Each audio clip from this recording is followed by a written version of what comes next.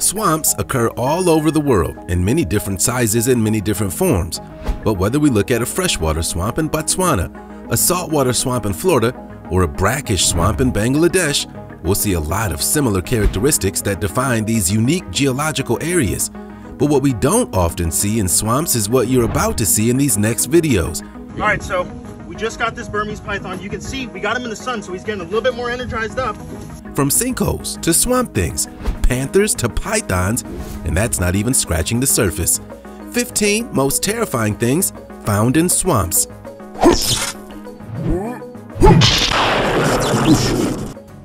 Number 15. Swamp Alligator. If you're exploring swamps in the southern United States, be careful. You might just come across one of these reptiles with a nasty reputation. American alligators. They're only found in the United States. They can be found in the coastal wetlands of the U.S. southeast, as far north as North Carolina, and as far west as eastern Texas. Their range extends down to southern Florida and includes the Everglades. These reptiles are usually found in slow-moving freshwater rivers, but also inhabit swamps, marshes, and lakes. These alligators can grow to be more than 12 feet in length and weigh as much as a thousand pounds. The animal's dark skin is armored with small, bony scales called scutes. A long, powerful tail helps propel the animal through water, as do webbed feet. Although American alligators can be hard to miss while basking on the shore, they can look eerily like logs when floating in the water. They're cold-blooded and depend on the natural world around them to provide warmth. To do this, they'll bask in the sun or dig holes in mud to trap heat. American alligators are carnivores. They eat fish, invertebrates, frogs, birds, and mammals. Their strong jaws are powerful enough to crack a turtle's shell. Now, let's get ready for today's open discussion. What they captured in a swamp shocked the whole world. What kind of swamp thing is this? Aren't human-like swamp creatures supposed to be green reptilians and covered in swamp slime? This looks like a Greek god emerging from its stone encasing, like some sort of sculpture come to life. But the truth is, swamps have been used as places where artists display their work. For example, sculptor Sophie put up an entire art exhibit in a swamp in France. Her swamp creatures are made of mud and seaweed, with the algae drying within the elements. The colors, textures, and skin of the creatures changes over time along with the organic landscape they inhabit.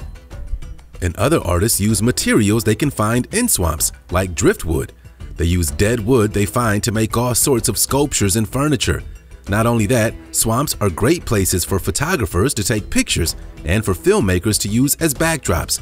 As for this mystery in an unknown swamp, there's a story here. What do you think it is? Comment below using the hashtag open discussion. Number 14. B-17 Flying Fortress Swamp Ghost. The Swamp Ghost was the nickname given to a World War II B-17E bomber wreck that was located inland of Dyke Acland Bay.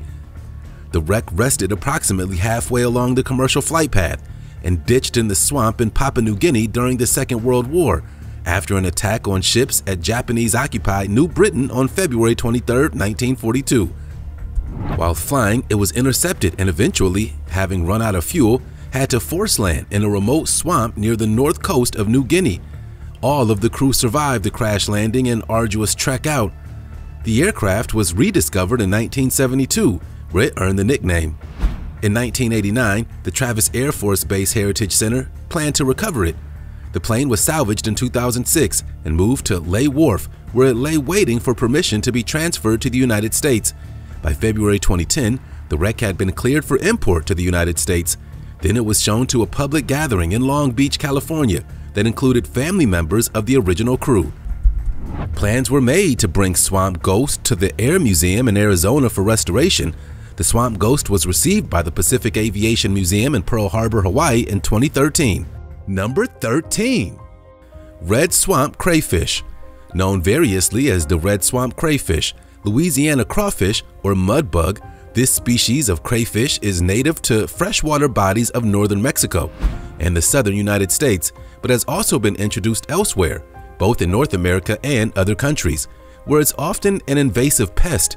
This species has the ability to tolerate brackish water, unusual for most crayfish. They're also recorded to have the ability to cross several miles of relatively dry ground and can burrow into the ground during extended dry periods. Red swamp crayfish are omnivorous, feeding on aquatic plants, snails, insects, fish, and amphibian eggs and young. They've been found to reduce amphibian populations through direct predation and competition for habitat. Populations have also led to declines in native crayfish species for the same reasons.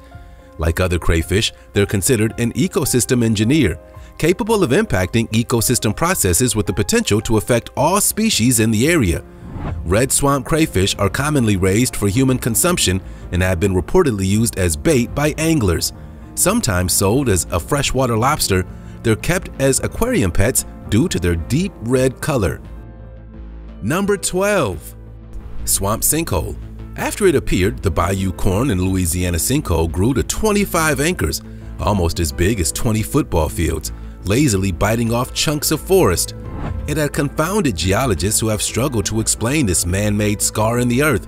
Much of Louisiana sits atop an ancient ocean, whose salty remains extruded upward by the merciless pressures of countless tons of rock have formed at least 127 colossal underground pillars. 700 feet beneath Bayou Corne, the salt dome stretches 3 miles long and 1 mile wide and plunges at least 30,000 feet to the old ocean floor. A bevy of companies have repeatedly punched into the dome, hollowing out 53 enormous caverns. But at some point, the well's western wall collapsed and the cavern began filling with mud and rock. The mud and rock above it dropped into the vacated space. The result was a yawning, bubbling sinkhole that destroyed trees, boats, and homes. The collapse also caused oil and methane gas from the underground to rise, appearing as visible bubbles on the surface of the water. The industrial catastrophe disrupted the geology of the local area to such an extent that eventually authorities had no choice but to issue an evacuation order for the area. Number 11. T-34 tank found in swamp. The Soviet Union's T-34 was one of the most revolutionary tanks employed during World War II. It featured frontal armor that was sloped at a steep 60 degrees, which allowed it to easily deflect enemy rounds. Unlike hulking tanks, the T-34 hugged the ground, offering a lower profile for its enemies to target. So, what's it doing in this swamp? The Russian-built T-34 tank was captured by the Germans and marked as their own. This one was either stuck during battle or ditched during a retreat in order for it not to fall back into the Russian enemy's hands. Or the tanks were prone to sinking because of their narrow tracks, and that's probably why it remained here in this muddy swamp for so long. It settled in 12 feet of water and 6 more feet of mud covered it.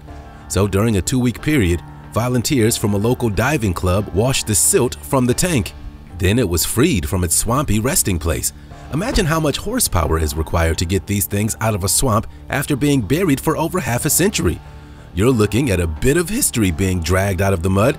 The T-34 was then taken to a war museum and they were even able to start the diesel engine after all this time. Number 10. Spotless Crake The spotless crake is a species of bird that's widely distributed species occurring in the Philippines, New Guinea, Australia, and New Zealand. But good luck finding one. This small dark-colored rail, about half the size of a common blackbird, is very secretive and relatively infrequently seen. However, their furtive nature and apparent mobility means they could be present in areas of suitable habitat far from known populations.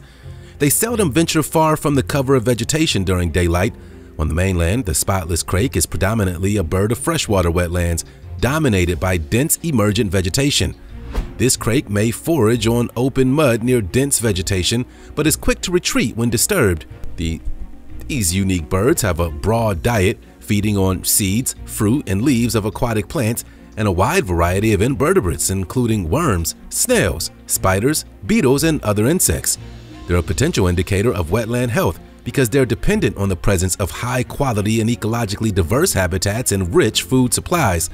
However, when Europeans arrived, spotless crake were abundant, but populations there have undergone dramatic declines. Number 9. Swamp Lantern Also called skunk cabbage, swamp lantern is a plant found in swamps and wet woods, along streams, and in other wet areas of the Pacific Northwest of North America. The plant is called skunk cabbage because of the distinctive skunky odor that it emits when it blooms. The odor will permeate the area where the plant grows and can be detected even in old, dried specimens. The distinctive odor attracts its pollinators, scavenging flies, and beetles. Spring blooms are a big part of the wonder of the Pacific Northwest coastal forests. For a short period, forests burst with color, but no other plant matches the swamp lantern.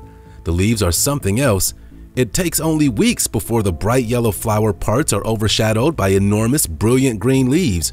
No other yellow is as bold and bright. It may be that their habitat plays a role, for it's typically dark and dank. Few other lanterns glow that brightly. There's something otherworldly as they rise like luminous golden flames from the dark swamp mud. They have a lot of practice at this as they're members of one of the oldest flowering plant families and appeared about 245 million years ago. That means they beat the dinosaurs by about 15 million years. Number 8. Snapping turtle found in swamp. Believe it or not, these turtles are notoriously vicious, and yet people still love to hunt them. The common snapping turtle is a species of large freshwater turtle, whose range extends from southeastern Canada, southwest to the edge of the Rocky Mountains, as far east as Nova Scotia, and as far south as Florida. The common snapping turtle is noted for its combative disposition when out of the water, with its powerful beak-like jaws and highly mobile head and neck. In their environment, they're at the top of the food chain, However, when they encounter a species unfamiliar to them, such as humans, in rare instances, they'll become curious and survey the situation and even more rarely, bump their nose on the leg of the person standing in the water. Although snapping turtles have fierce dispositions, when they're encountered in the water or a swimmer approaches, they'll slip quietly away from any disturbance or may seek shelter under mud or grass nearby. They consume both plant and animal matter and are important aquatic scavengers. They're active hunters that prey on anything they can swallow, including many invertebrates, fish, frogs, reptiles, including snakes and smaller turtles, unwary birds, and small mammals. Number 7. Swamp Eel The swamp eels are a family of freshwater eel-like fish of the tropics and subtropics. The Asian swamp eel is native to the regions in eastern and southern Asia, and also possibly indigenous to Australia, and it's been identified as an invasive species in the North American Everglades, they're not closely related to other living eels or snake-like marine and freshwater fish. Most species are able to breathe air and typically live in marshes, ponds, and damp places, sometimes burying themselves in the mud if the water source dries up. They have various adaptations to suit this lifestyle. They're long and slender, they lack pectoral and pelvic fins, and their fins are vestigial, making them limbless vertebrates. They lack scales and a swim bladder, and their gills open up on the throat, Oxygen can be absorbed through the lining of the mouth, which is rich in blood vessels and acts as a lung. Incredibly, most species of swamp eel are hermaphrodites, starting life as females and later changing to males, though some individuals start life as males and do not change sex. This feature allows them to replenish female populations when female densities are low, and in certain regions of the world, swamp eels are eaten as a delicacy. Number 6. Weapons found under the swamp. It's not only alligators and snapping turtles that can be found in some of the most dangerous swamps. People on rare occasions find actual weapons, everything from guns and knives to active bombs, the works. For example, there's a Russian archaeological team called Yuri Gagarin that publishes online videos of excavations of relics from the battlefields of the world wars. In several recent videos, they show they retrieve many really well-preserved firearms and other items from a swamp. Even after being in the swamp for about 75 years, these relics are in amazingly good condition, and they don't keep them. If they can, these swamp hunters track down the families the artifacts belong to so they can honor those who have fallen during these battles. Not only that, if they can't track down the soldiers' families, they'll turn them over to the local police. Sometimes, some samples are deactivated directly in the forest for subsequent transfer to museums. They don't sell them even though these weapons clearly would be very valuable. It's not a job for these swamp hunters, it's a labor of love. They do it for the sake of interest and heartfelt satisfaction in order to contribute to history. Number 5. The Amazonian Whale Forest and sea experts in Brazil are baffled. How could they not be? they found a 36-foot humpback whale dead in the middle of the Amazon forest. It was on an island in the Amazon River. According to reports, the 10-ton marine animal was discovered by locals on Marajo Island off Araruna Beach. In fact, they only found the whale because of the presence of scavenging birds of prey. The vultures were spotted circling above the carcass, which was found hidden in the bush some distance from the sea. While tens of thousands of humpback whales are estimated to live in the Atlantic Ocean off Brazil, Nearly all of them have migrated south by this time of year, this summer in the southern hemisphere to feed near Antarctica. But this humpback was found some 4,000 miles from its expected feeding grounds. A team of experts from CIMA visited the spot to investigate how the giant mammal landed in the middle of the dense rainforest. About 50 feet from the shore, they spotted the lifeless humpback, about 26 feet long, lodged in thick shrubs and brush. However, the mammal showed no signs of injury, and biologists believe it was already dead when waves carried it to the forest area. But it still is a shocking sight. Number 4. Smallest fish found in swamp. These tiny fish, a distant cousin of the carp, is thin, transparent, and the size of a large mosquito when fully grown. Their miniature transparent bodies lack the typical feature characteristic of adult fish. These fish have a very rudimentary skull, which leaves the brain exposed. They're a recently discovered genus of fish, the smallest known fish and the smallest known vertebrates in the world, found living in highly acidic peat wetlands on the Indonesian island of Sumatra and in the Malaysian part of Borneo. Members of this genus are habitat specialists that only live in acidic water. Within peat swamp forests, they're usually found to inhabit deeper, cooler water close to the bottom half of the water columns. They also tend to inhabit shaded areas in which light is usually absent from their environment.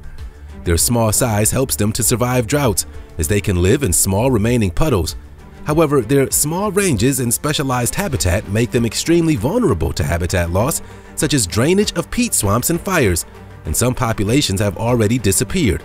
It's been speculated that some other miniature fish from the habitat and region may already have become extinct, even before being scientifically described or discovered.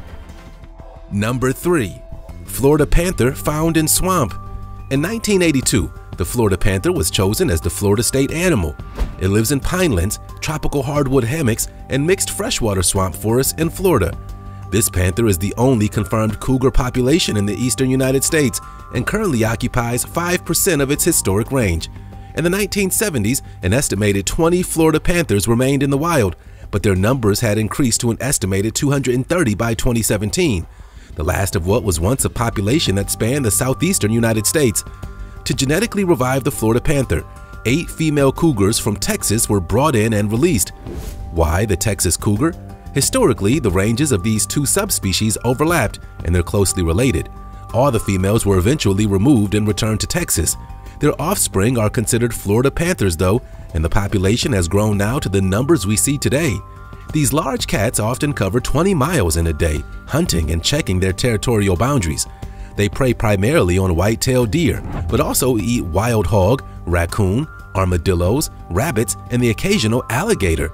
And that's why they often get filmed around Florida swamps. These cats love to hunt there. Number 2. Burmese pythons found in swamp. Burmese pythons have been crawling amuck in South Florida since at least the mid-1990s. The population's forerunners were probably released by pet owners, daunted by the prospect of maintaining a predator that can grow to 20 feet long and weigh 200 pounds. They're definitely not supposed to be here. No one knows exactly how many there are now, but estimates put their numbers in the thousands or tens of thousands. The pythons have been devouring local wildlife, indulging in mega meals like deer, bobcats, and alligators, as well as endangered species like the wood stork and the Key Largo wood rat. So far, the Burmese python invasion is restricted to Florida's southern tip, but scientists have been debating whether it could spread to more temperate parts of the United States. With thousands of Burmese pythons and other giant invasive snakes devastating wildlife in the Florida Everglades, the hottest question on many minds is how far north could they go? New research shows the snakes can withstand surprisingly cold temperatures, leaving open the possibility that their range could extend hundreds of miles northward. After all, the species' native range includes the foothills of the Himalayas, so it's no stranger to the cold. Number 1. Babirusa Known as the wild pig with a dental problem, Babirusas live in swamps in the rainforest of Indonesia and are found nowhere else in the world. The remarkable prehistoric appearance of these mammals is largely due to their prominent upwards and curving canine tusks of the males, which actually pierce the flesh in the snout. The word babirusa means pig deer in the Malay language, as their wild growing tusks are reminiscent of deer antlers. Like many pigs, the male babirusa's canine teeth will continue to grow throughout its entire life as long as there's a blood supply. But what are those tusks for? The real reason remains a mystery. An early hypothesis was that males use their tusks during fights over females, or perhaps the tusks serve as protection of the face and eyes from the slashing lower tusks during an altercation. It seems reasonable until a Babirusa tussle is observed. Instead of tangling up their tusks, they rise up on their hind legs and box each other with their front hooves. Unlike the tusks of elephants, Babirusa tusks aren't built to withstand much pressure. They're fragile and not well suited for combat. They'll eat almost anything. These omnivorous pigs consume leaves, fruits, berries, nuts, mushrooms, bark, insects, fish, and small mammals, even smaller Babirusas. So next time you're near a swamp, these videos hopefully will remind you that there's more than meets the eye in these unique ecosystems, and these bodies of water can be as terrific as they can be terrifying.